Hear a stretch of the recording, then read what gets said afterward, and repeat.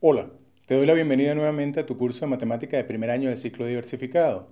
En la sesión de hoy vamos a iniciar el tema de trigonometría hablando de ángulos. Veremos a continuación la definición de ángulo.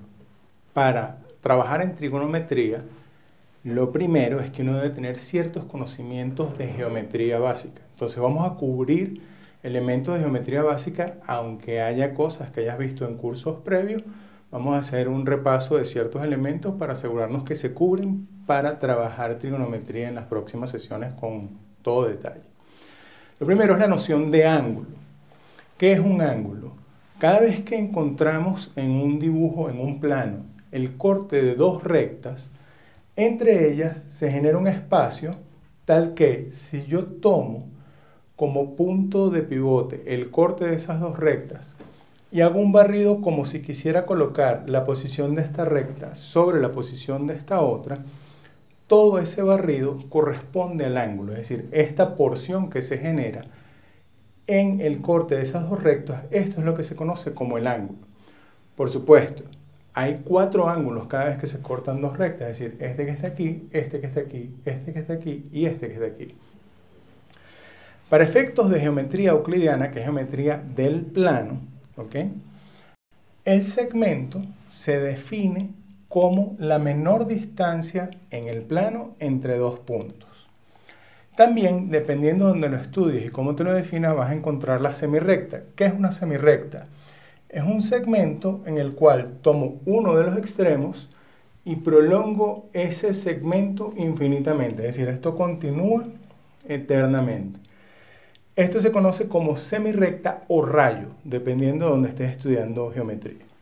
Y finalmente la recta, que es quitando los dos puntos como tal de definición o como quieras. Colocamos los dos puntos y prolongamos infinitamente en los dos sentidos para hacer la recta que es infinita. Todos estos elementos están en el plano, geometría euclidiana. Toma como referencia la superficie de la Tierra, que si la ves es una esfera. En esa esfera, la menor distancia entre dos puntos no es un segmento de recta, es un arco sobre la superficie de esa esfera. Por eso la referencia a que esto que estamos hablando aquí es geometría euclidiana. Recuerda eso porque es relevante. Finalmente, para estos ángulos, nosotros vamos a tener dos maneras de denotarlos. Una es cuando tenemos, por ejemplo, dos segmentos que se cortan para definir un ángulo, el punto de corte o común entre los segmentos se coloca en el medio de la notación. Este que está aquí, este señor que está aquí es el ángulo ABC o también el ángulo CBA. Es indiferente si lo llamas ABC o CBA a este ángulo. Lo vas a encontrar de las dos maneras. Y la otra forma es que este señor se denote con una letra griega, es decir, el ángulo alfa o beta, delta, omega, lo que se te ocurra como letra griega funciona. Vamos a ver a continuación las maneras de medir los ángulos. Es decir, cómo se mide un ángulo. En principio, no se sabe el origen como tal del grado ¿sí? sexagesimal, que es una de las primeras formas de medir los ángulos que se miden en grado, y que hicieron los babilónicos.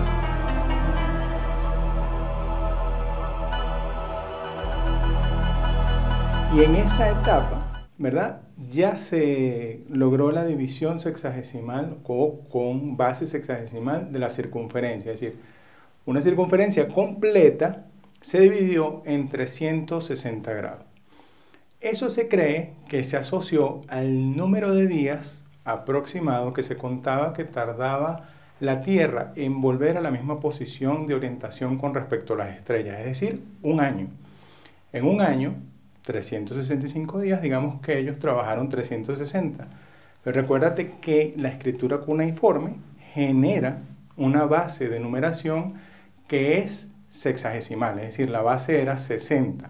Y eso se cree que parte de cómo contaban con las manos. Y tú me dirás, con las manos, pero son 10. Bueno, resulta que ponían una mano y contaban las falanges de los dedos. Es decir, 1, 2, 3, 4, 5, 6, 7, 8, 9, 10, 11 y 12. 1. 1, 2, 3, 4, 5, 6 y así sucesivamente 2. Entonces van 12, 24, 36, 48 y 60. Es decir, si contabas con las dos manos completas te daba 60. Esa era la base. Y eso cuadraba muy bien con los 360 que dividido entre 6 te vuelve a dar los 60. O sea, todo cuadraba numéricamente. A partir de ahí tenemos que la circunferencia completa tiene 360 grados y esos grados a su vez se dividen en minutos y segundos. Entonces, uno consigue notación del tipo 10 grados, 43 minutos, 12 segundos. La primera comilla de esta cifra se lee como minutos y estas dos comillas de esta segunda cifra se lee como segundos. Esto aplica para cualquier medición de ángulo en la circunferencia. Si uno se consigue notaciones como por ejemplo 37 grados, 30 minutos, acuérdate que un grado tiene 60 minutos. ¿Eso qué quiere decir? Que esto es la mitad de un grado. Entonces se puede utilizar también notación decimal y decir que esto es exactamente igual a 37,5 grados. La otra forma de medir los ángulos es con radianes, o la otra unidad que vas a conocer muchísimo son los radianes. ¿Qué es un radián? Eso se asocia al perímetro de la circunferencia, es decir, a la medición del arco de circunferencia que te genera el ángulo. Si vemos el perímetro de la circunferencia, eso es igual a 2pi por r. Si colocamos una circunferencia de radio 1, vamos a ver que el perímetro es exactamente igual a 2pi. Es decir, dar una vuelta completa a la circunferencia es exactamente igual a 2pi. 360 grados, que es la circunferencia completa, son 2pi radianes. Estos son los radianes. La mitad, que sería media circunferencia, 180 grados es igual a pi y 90 grados, que es la mitad de esa cantidad, sería igual a pi medio. Algunas definiciones adicionales relacionadas con los ángulos. Se denomina ángulo nulo al ángulo de 0 grados. Ángulo agudo, todo ángulo cuya medida esté entre 0, es decir, el ángulo nulo, y 90 grados. Al ángulo recto, se le conoce como el ángulo de 90 grados o se conoce como ángulo recto al ángulo de 90 grados. El ángulo obtuso, aquel cuya medida es mayor a 90 grados y menor a 180 grados. El ángulo llano es el ángulo de 180 grados. Cuando tenemos parejas de ángulos, se conoce como ángulos congruentes, son aquellos que al colocar un ángulo sobre el otro coinciden exactamente, es decir, un lado o un segmento de los que conforman el ángulo coincide exactamente con un segmento del otro ángulo y el otro elemento que lo compone también coincide exactamente, es decir, los dos son exactamente iguales. Ángulos consecutivos son aquellos que comparten el vértice y un lado. Ángulos complementarios son dos ángulos tales que juntos forman un ángulo recto, es decir, cuando se colocan consecutivos, su suma da 90 grados. Ángulos suplementarios son dos ángulos que colocados consecutivamente dan 180 grados, es decir, la suma de ellos dos da 180 grados. Cuando dos rectas se cortan con una transversal, se producen varias parejas o grupos de ángulos.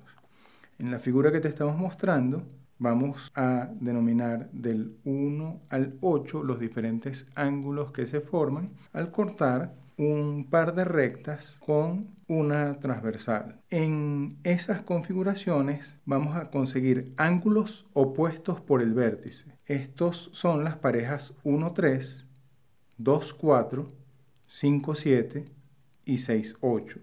Son opuestos por el vértice, es decir, el punto de corte de las rectas. Los ángulos opuestos por el vértice son congruentes. Los ángulos alternos internos. Las parejas cuyos números son 3, 5 y la 4, 6 son conocidos como ángulos alternos internos. Estos señores también son congruentes. Finalmente, los ángulos alternos externos que corresponden a las parejas 1,7 y 2,8. Esos dos señores o esas dos parejas también son congruentes. ¿Qué aprendimos en la clase de hoy? Iniciamos el estudio de la trigonometría, para lo cual vimos la definición de ángulo, la forma de medirlo y además una serie de definiciones adicionales como la del ángulo llano, el ángulo recto, el ángulo obtuso, el ángulo agudo. Gracias.